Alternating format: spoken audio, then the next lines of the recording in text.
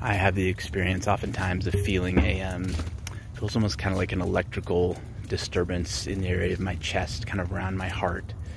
Um, I also feel it sometimes in my ribs, kind of to the right and to the left of my heart. I get it in my throat sometimes too, and then up in my head.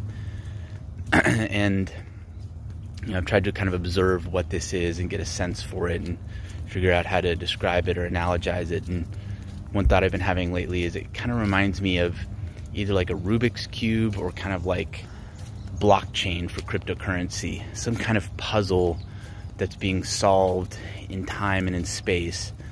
And, you know, admittedly, I'm not an expert on blockchain by any means, but my sense of it is it's essentially kind of a math problem that just takes time to process. And the process, the time of that processing is what essentially undoes it.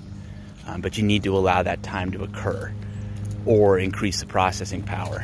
And that's kind of the sense I have around this. I get the sense that the electrical storm or whatever it is, is, is some kind of confusion and that the undoing of it is a gradual unfolding and that maybe it is a function of time if you know the the storm is something created to essentially keep my consciousness identified with a more limited perspective more of the time, kind of the lowercase i in my cosmology.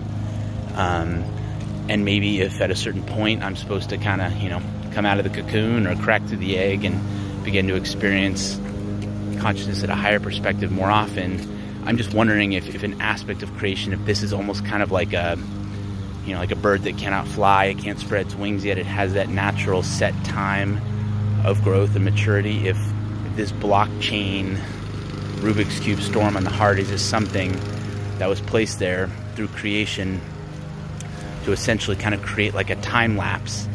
And that as my mind um, and my consciousness kind of unravel it over time, it's eventually kind of untangling will coincide with the sprouting, the birthing on the new level.